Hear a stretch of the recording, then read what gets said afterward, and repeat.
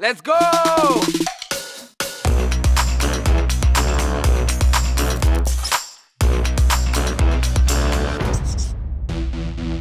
For the first time ever, MLB The Show is available on Xbox consoles. You know what that means, Fernando Tatis Jr. What? It's time to party! Dale, papi.